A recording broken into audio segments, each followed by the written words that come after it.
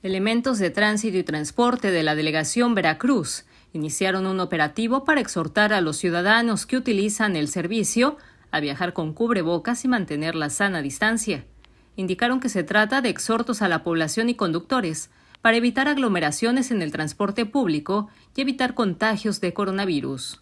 Exhorte a la gente que utilice su cubreboca al momento de subir a las unidades y que las unidades transporten máximo el 50% para que no se genere aglomeraciones.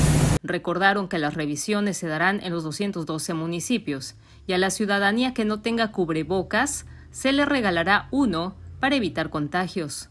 Se les va a pedir de favor que utilicen su cubreboca, que utilicen las, las unidades al 50% máximo su capacidad y que, este, anden con su sana distancia pegados a las ventanillas. El operativo de tránsito y transporte público se realizó en la avenida Fidel Velázquez. Para Imagen del Golfo, Laura Morales.